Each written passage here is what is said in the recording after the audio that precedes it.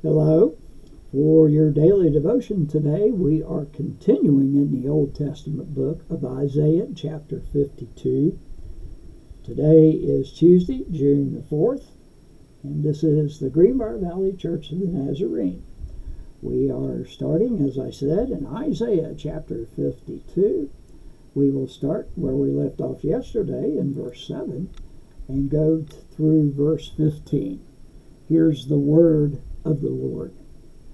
How beautiful on the mountains are the feet of those who bring good news, who proclaim peace, who bring good tidings, who proclaim salvation, who says to Zion, Your God reigns.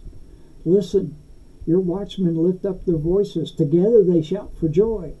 When the Lord returns to Zion, they will see it with their own eyes. Burst into songs of joy together, you ruins of Jerusalem, for the Lord has comforted his people. He has redeemed Jerusalem. The Lord will lay bare his holy arm in the sight of all the nations, and all the ends of the earth will see the salvation of our God. Depart, depart, go out from there. Touch no unclean thing. Come out from it and be pure, you who carry the articles of the Lord's house. But you will not leave in haste, nor go in flight, for the Lord will go before you. The God of Israel will be your rear guard. See, my servant will act wisely. He will be raised and lifted up and highly exalted. Just as there were many who were appalled at him, his appearance was so disfigured beyond that of any human being, and his form marred beyond human likeness. So he will sprinkle many nations, and kings will shut their mouths because of him.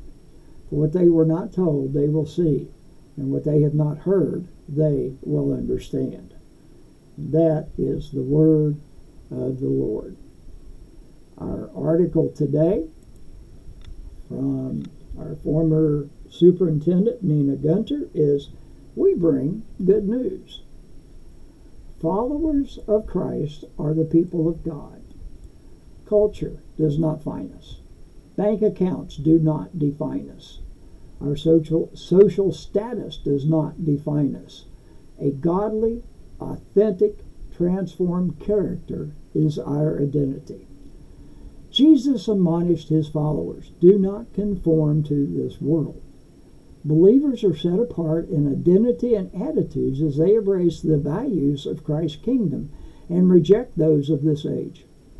Christians have the opportunity to live the kingdom in the world, being the authentic reflection of God in the darkness around us.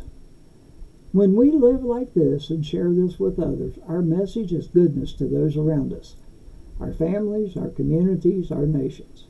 We are messengers who proclaim peace, who bring good tidings, who proclaim salvation to hurt and dying world. What wonderful news! It is so wonderful that the popular that the prophet points out the messenger's feet are beautiful because the good news brought by them. We have an opportunity to live authentic lives for Christ. In doing so, we also have the opportunity to be messengers with beautiful news for a broken, dark world. Let us examine our relationship with Christ and ask Him to sanctify our influence to be a godly, authentic, transformed character. Glory to His name.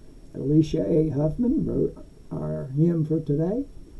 I am so wondrously saved from sin. Jesus so sweetly abides within. And as we started off our reading today, Isaiah 52 7, how beautiful on the mountains are the feet of those who bring good news. And this is your daily devotion for Tuesday, June the 4th. Good news. Have a great day.